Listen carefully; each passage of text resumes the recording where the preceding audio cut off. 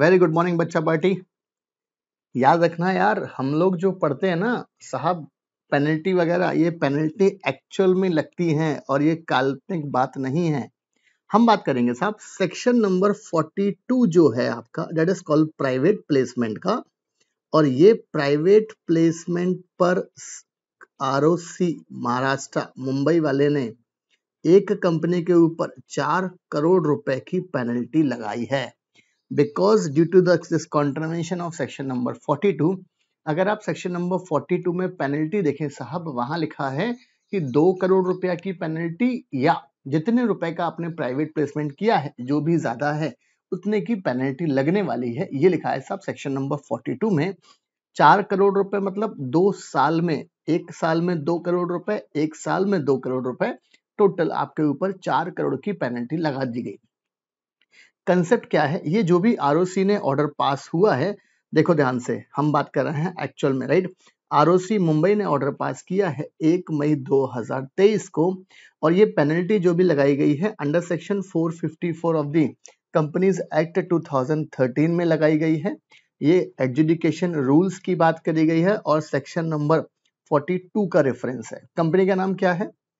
In the matters of in the matter of messrs NV auto spares private limited ये इस company का CIN number है। Educating officer की information दी गई है, किस किस ने कंप्लेंट फ़ाइल की थी। वो कंप्लेनेंट का साहब authorised person C A Tarun Arora ji थे। ऑथराइज रिप्रेजेंटेटिव फॉर रिस्पोंडेंट ये थे एडवोकेट साहब। Education of appointment of educating officer ये बेसिक चीज़ है भाई, किसका अपॉइंटमेंट हुआ था। ये कंपनी की इंफॉर्मेशन है कि ये कंपनी एक छोटी सी प्राइवेट कंपनी है जो 1956 में रजिस्टर्ड हुई थी और इस, इसने सेक्शन 42 का नॉन कंप्लायंस किया है। फिर बाद में सेक्शन 42 को पूरा का पूरा यहाँ पर इन्होंने छाप दिया है ऑर्डर में कि भाई ये सेक्शन 42 होता है और अकॉर्डिंगली यहाँ से कहानी है कि भाई कैसे कंप्लेंट मिली है किस व्यक्ति ने कंप्लेंट फ़ाइल की है हुआ क्या था? इन्होंने क्या किया? The company during the financial 16 17 and 17 18 सब कंपनी के पास पैसे नहीं थे कंपनी की हालत बहुत ज़्यादा खराब थी।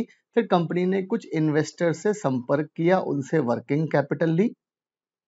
कन्विंस करा, ये जो कंप्लेन नंबर वन है या complainer number two two four है, इन सबसे पैसे लिए बट कंपनी ने ये पैसे जो लिए हैं और इनको शेयर्स नहीं दिए थे अकॉर्डिंगली क्या हुआ कि साहब कंपनी को ओवरऑल देखो amount receive during the financial year सत्रह अठारह में एक पार्टी, दो पार्टी, तीन पार्टी, चार, पाँच छ छह लोगों से सब इन्होंने इतना पैसा लिया है। राइट दस करोड़ पैंतीस लाख बयासी हज़ार चार सौ सात रुपया अठारह उन्नीस में सब ये तीन करोड़ छप्पन लाख रुपए लिया टोटल अमाउंट जो लिया, वो लिया आपका thirteen crore ninety two lakh nineteen thousand zero forty two rupees right इतने रुपए का कॉन्ट्रावेंशन हुआ है।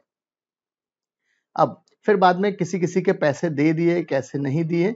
तो कुल मिलाकर सब आर ने लगाकर लगा दी इनके ऊपर पेनल्टी अब देखो, आपको मैं दिखाता हूँ भाई पेनल्टी कहाँ लगाई है। ये पूरा का पूरा ऑर्डर देखो ध्यान से। नीरेंद्र यह the company accepted a sum of rupees towards share application money details of which are given the notes of account separately but ना तो कोई शेयर्स अलॉटमेंट हुआ है, ना ही अमाउंट रिफंड हुआ है।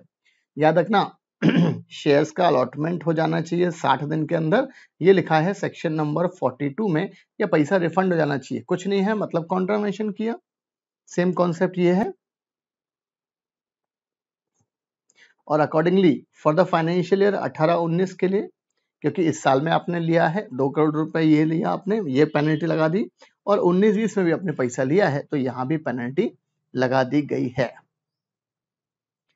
ये देखो, आपको रेट ऑफ़ इंटरेस्ट का ज़िक्र है, अपने सेक्शन में तीस दिन का ज़िक्र है, साठ दिन का ज़िक्र है, ये सारी चीज़ें अवेलेबल हैं यहाँ पर राइट जो आरओसी महाराष्ट्र ने एक मई 2023 को ऑर्डर पास किया है कितने की पेनल्टी लगाने का? चार करोड़ रुपए की एक प्राइवेट कंपनी के ऊपर। आपने कॉन्ट्रावेंशन किया है सेक्शन 42 का एंड 454 के हिसाब से पेनल्टी लगा दी गई है।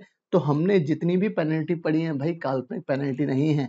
ये वाला ऑर्डर आपको टेलीग्राम चैनल पे मिल जाएगा और टेलीग्राम चैनल का हमारा नाम आपको डिस्क्रिप्शन बॉक्स में अवेलेबल रहेगा। आप वहाँ से ये ऑर्डर को पढ़ सकते हैं एक बार कि किस तरीके से पेनल्टी वगैरह लगाई गई है सेक्शन 42 में। मिलते हैं नेक्स्ट वीडियो में। थैंक